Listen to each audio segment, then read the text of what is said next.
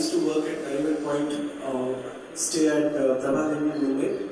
And uh, what I realized was uh, the Kalipili used to be a pain because you would sweat in Mumbai. So by the time you're in office, it's not that. So what's the best way out? And this is I'm talking about 2007. So the best way out was the uh, BEST AC buses. And uh, there was one which used to go close to my, from my house. And uh, every time I figured out that either I'm waiting for it or I'm missing it. So then, you know, one of my friends used to stay at Shivaji Park, and then we figured out a way wherein he would call me uh, just before, just when he would board the bus. And I'd walk out of my house and like a king, go and uh, enter the bus. Uh, but then that was not all. I would end up standing there, and uh, obviously, you know, uh, early in the day, you want that comfort. Uh, so then, you know, we would do uh, simple things like we we uh, try to hear what people are talking. And if I see a reference of Yes Bank, I know this guy is going to get down at early, so I'll stand next to him.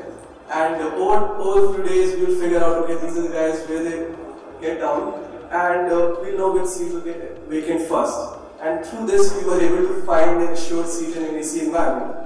And that made me realize that this is a big thing. You know, all we are looking for is not a car, not a metro, not a local, uh, not a bus. All we need is an assured seat in an AC environment. It takes us from a place we, we stay close to a place we stay to, a, uh, to our offices.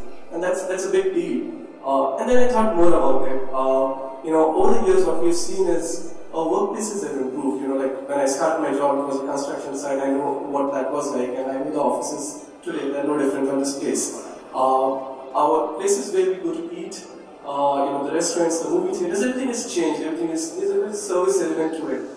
However, commute has stayed the same.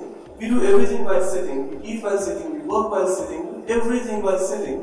But commute, somewhere we took it for granted. That okay, commute, it's okay to be packed in, in a box and you know be, be, be you know driven like like cattle. And uh, that somewhere you know kind of uh, was standing out very strongly.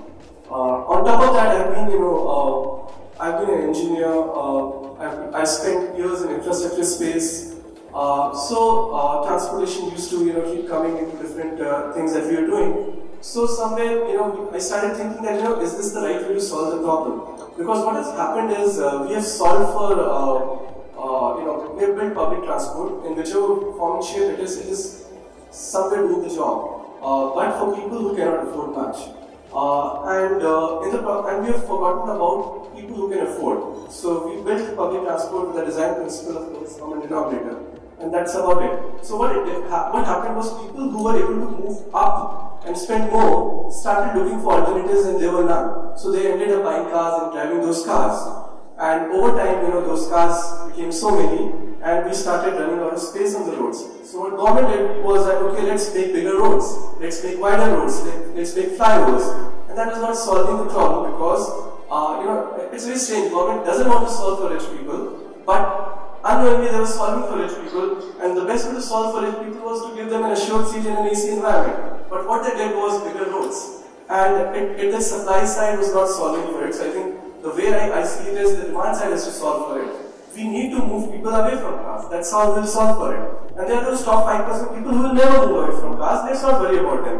And there, are the bottom 40, 50, 60% people who are solved, who will not pay more than anything what they're paying. And let's not worry about this. But there are, in the middle, there are about 30, 35, 40% people who are taking cars because, not because you know, that's, they, they want to, but because there is no other credible alternative. So what is that credible alternative? On one side you have price solutions, on the other side you have low crowded solutions. So what we all need is something in the middle. So on one side we have a solution which has more seats than people, which is the car, and on the other side there are more people than seats, which is your public transport. But all of us, all we need is one seat, not a seat more, not a seat less. And that solution never existed in this world, and this was very strange. So it sounds simple, but no one ever thought about it. So when, whenever you see Shuttl now written, you remember even the gentleman who thought about it and made such a difference. But are people comfortable really sharing buses? So if I'm Infosys and he's Wipro, will you allow us to share the bus? Can we do that? Still Wipro says, I want to have my bus, and Infosys says, I want to have my bus. So there are many parts to it. See, first of all, you know, uh, commute is today the, the, the, the worst time of people's day. You know, the, so taking pain, that's the pain, most painful part. So if you can take solve the commute, you're actually solving for their pain. Uh, that is one. One that gets solved. You know, that's the biggest problem rather than anything else that we are talking about it. Then talking about your uh, your kind of thing that you know whether people from different companies. See, uh, there was a time when you know uh, I, I did my summers at ICICI Bank, so I know so ICICI Bank had that iconic building at one point of time, which used to be in the checks and everywhere. Like that was place right? They had they, they had their own tower. So any company which was big would have their own towers. Then what, what happened is that, you know, we said that, okay, we can do better. And we started having IT parks and business parks, which were like giant campuses, and different companies will have spaces there, and they will share the common facilities like your cafeteria, or, you know, uh, parking, or whatever, you know, need be. And now we are coming to an age where we are talking about co-working spaces. We are talking about people sitting next to each other, working in different companies. And this, one, one way of looking at it is, you know, am I risking myself and opening myself, making myself vulnerable to someone else, else who can coach me? And the other way to look at it is, am I you know, kind of enabling an environment of you know being connected and sharing and you know knowledge sharing and you know, creating more dialogues that can happen. So uh, it's it's up to us how we look at it. The world has changed, and we can continue to you know keep staying back because people are connected. You may make them go, you know, take exclusive buses for your employees, but they are connected on WhatsApp, Facebook, Instagram. So many CHROs in the room, if you convince them, half of the problem is solved. that can, but friends, every aspect of productivity, we cannot get away from the commute. It's such a big part. Imagine what I hear, what I'm excited about, that here is a company where we will not dread from commuting. And we'll say, okay, now employees have two extra hours to, to work if they wish to. So that's Actually, that, that- that's a very good point. See, I have seen it myself. You know, I, I, I'm an engineer, like a lot of engineers, but I'm, and that defines the way we think about life.